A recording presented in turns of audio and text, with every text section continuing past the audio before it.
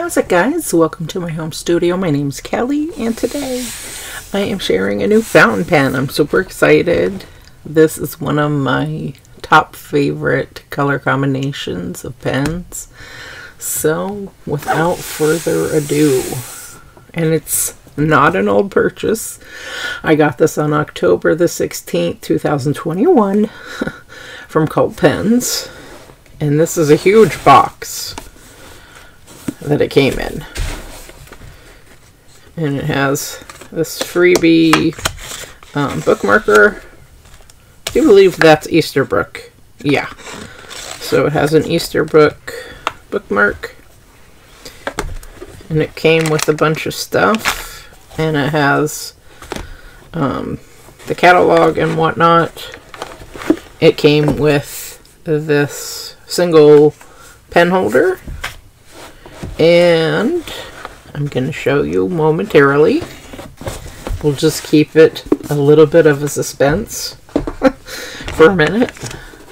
I'm just going to put all this away. I'm not sure what I'm going to do with this huge box, but um, anyway, so there's that. It came with cartridges and this little, I put them in this bag because that's how I do. Um, it came with five. This has one, six of them in here. Yeah, but I kept the box to show you. That's what it came in. And it came with this little mechanism in this bag, which now says Lamy on it. And this is for the pen, so you can completely dismantle everything. Don't mind my hands. Yes, I have fountain pen ink on them. That's okay.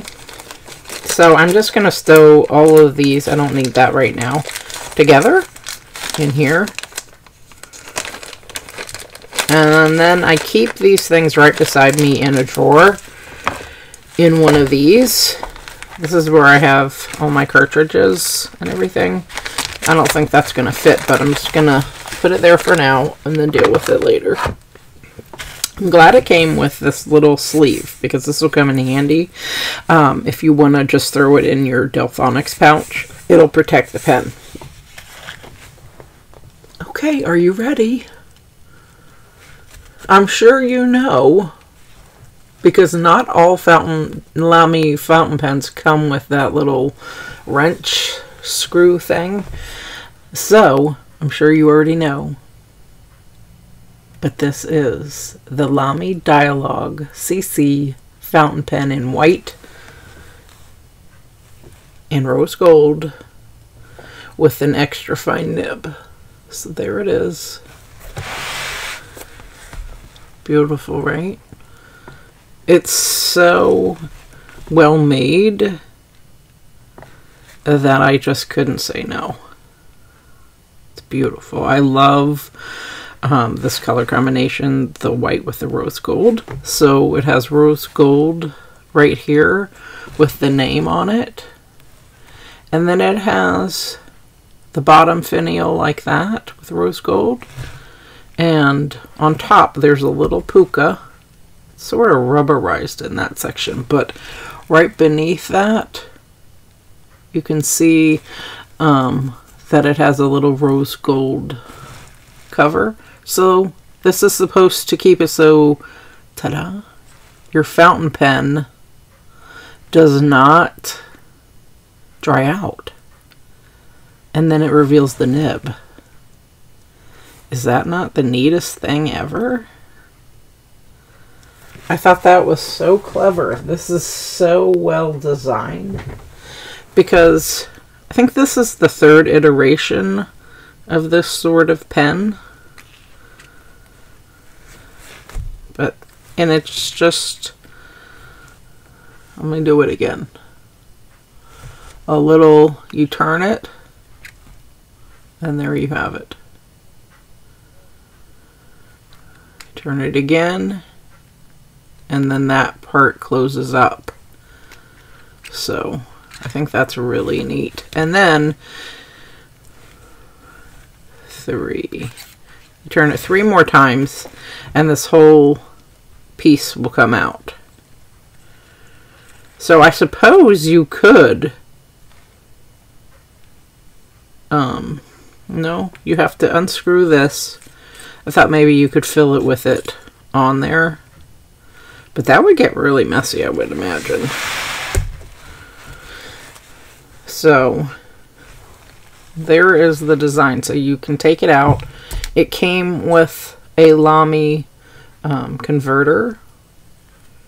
And I've already processed this. I washed it and everything. And then you take that other piece that I showed you. And what does it do exactly? I think it just, let's see. I can show you.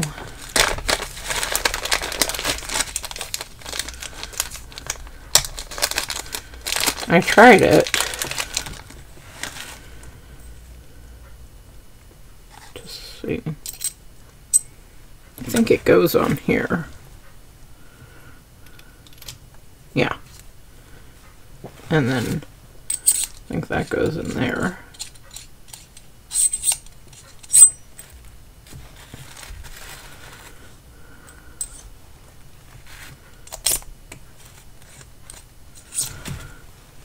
Oh, so you can just I think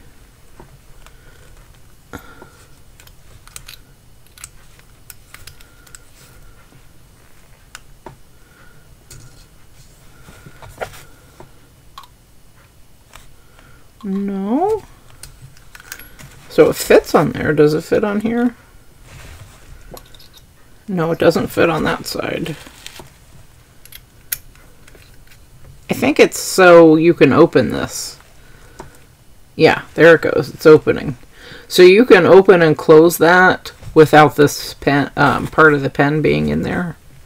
As you can see, it's I got it open. So, anyway, there's that little bit.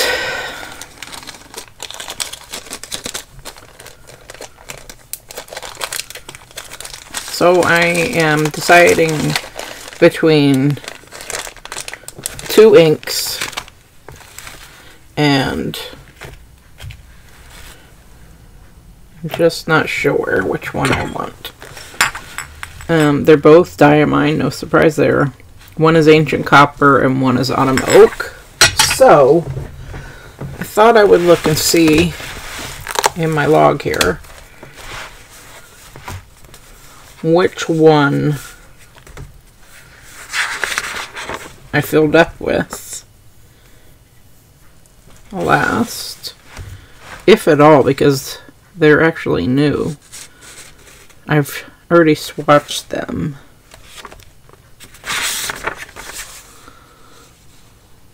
Oh, okay. Let's see, Diatramentus, Herbin. That's Fire Embers. Ackerman, Ackerman, Ackerman, Ackerman, Ackerman, Ackerman, Speedball. Herbin, Herbin, Herbin. Oh, maybe I haven't used them yet. Either one. Yeah, here here it is. Okay, I did. But it was way back in August. Because I put the dates on there. So that's what they look like. Ancient Copper and Autumn Oak. They're very beautiful, but I think I am leaning towards the Ancient Copper because this really is copper, rose gold copper, as you like. Um, so I think we'll do that. Sometimes it's just hard to decide which one you want, right? Okay. So, there is my ink. So I haven't used it since August, so I want to give it a good mixing.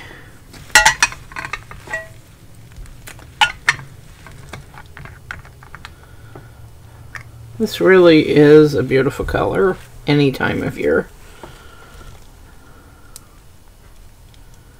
With any pen.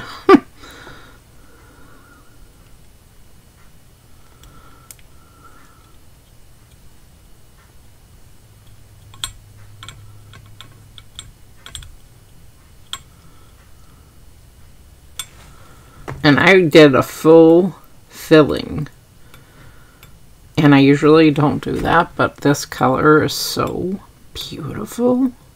And I think I'm really gonna like this nib.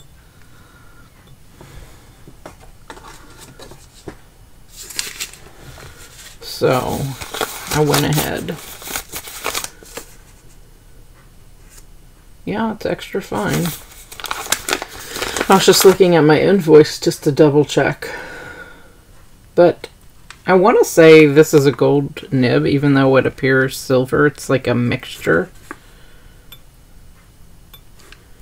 Yeah, because my favorite are the vintage nibs. They're just so soft, bouncy when you write, and you absolutely can feel that when you're writing. So um, but I'm going to show a close-up of the nib. I just want to clean it off a little because the fountain pen body is predominantly white and it will stain, I'm sure. So, beautiful, right? It got in the treads too and I really don't want ink all over my pen. I suppose I could have just taken the actual converter and dipped it in there, but then I'd have to like burp it for it to go in, into the nib, right? Not just burp the nib, but you know.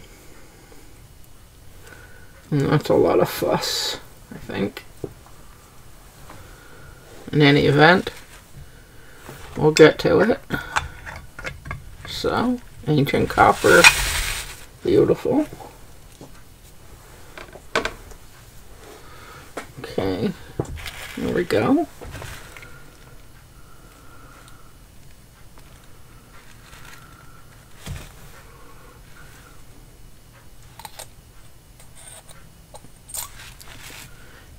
Yeah, it goes in like that. That's and I have it open so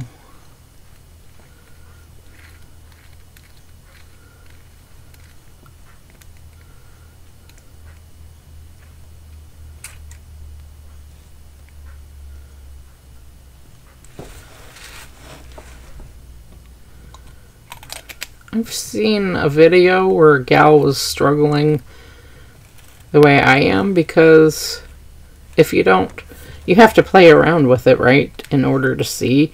Because it twists like that, but it also twists to close it, but then to take the whole piece off, right? Like this. Clockwise to get it on. And to reveal the nib itself, right? Counterclockwise closes it. And it's like a twist and then another slight twist and you can actually feel that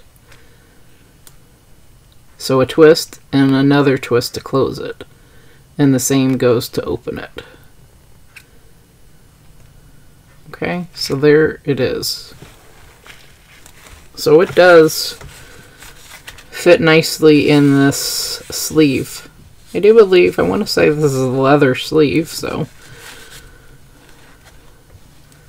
Yeah, so you can fully immerse it in there like that. And really, really protect it. And then these two have a slit on either side so you can pull it back out very easily. So I'm going to keep this very handy, I think. Um,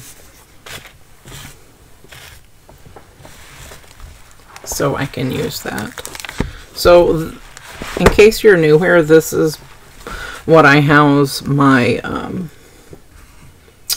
logbooks in, just for what's inked up and if I get a new pen. When I get a new pen, I like to ink it up, and I like to record the first time I've inked it up. So, this is my Leutsch. I have three notebooks. This is my Leuchtturm 1917. Then I have a Taroko Shop Enigma, which is 68 GSM Tomoe River paper. And then I have a Hobonichi notebook, which is 52 GSM Tomoe River paper, which is my favorite. So, okay, so, um, I hope I explained that and showed the pen nicely for you. There, I'm sure are a lot of videos. I've just watched the one from that gal. I can't remember recall her name. So, um, but anyway, I'm gonna fill it, and then I will catch you guys on the other side.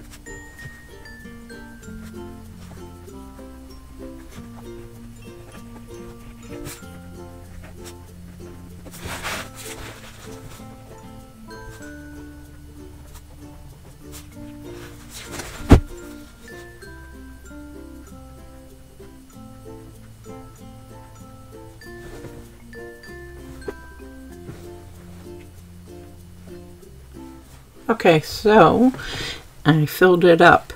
This must be a gold nib because um, otherwise the price point on the pen couldn't be validated, in my humble opinion. Um, and this nib writes beautifully. I really like it. Um, so it's a nice, nice writing experience. Um, so let's take a look at the ink guys. This one's smudged. Oh well. So I was able to get a close-up, um, hyper-exposed shot of the um, writing and show you that nib really well.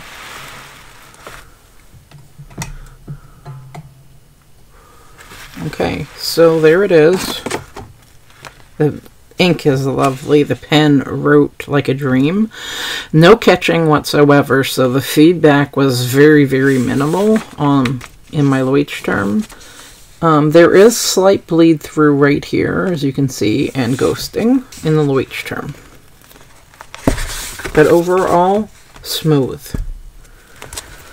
And that is the least smooth of all the papers that I have. Then um, I have my Taroko Shop Enigma. Very lovely, very smooth indeed. And the ink shows up nicely. And no bleed through on this paper. Ghosting. but no bleed through. And then my favorite paper, the 52 GSM Tomoe River paper. very nice. Very, very smooth. No bleed through, guys. Ghosting, yes, but no bleed through. So this pen is beautiful. It writes very, very smooth. Um, I wasn't going to get it, and then I just kept looking at it and looking at it, and I'm glad I did. This is a very, very nice pen. And that twisting motion and then closing that. So I'm going to see if it does dry out because I filled this pen all the way up. I'm going to use it. I'm not just going to leave it sit. Um, but we'll see if my pen ever dries up. I hope it does not, but um, only time, the test of time will tell, really. Now, I was on the market for a clicker pen, such as the um, Vanishing Point, the Curidas. I've had that in my cart and out of my cart so for so long. I'm just gonna. I had decided just to pass on it because it's an. In, I mean, it's a relatively inexpensive pen, but it does dry out because I watched several videos about it. So, you know, um, I don't. I think that's a hassle. So this one twists, so there's no on and off of the cap. It's not as convenient as a clicker, but it's a sure beauty and dream to write with. And just twisting it like that isn't much. So I'm okay with that. So that is my video. Hope you liked it. Um, if you're on the fence about it, it really is a fun pen to write with. Um, I like it a lot. So those are my thoughts on it. Alright guys, thank you ever so kindly for watching. If you liked what you saw, feel free to comment, like, share, and subscribe. And as always, I wish you all a beautiful day. Bye-bye.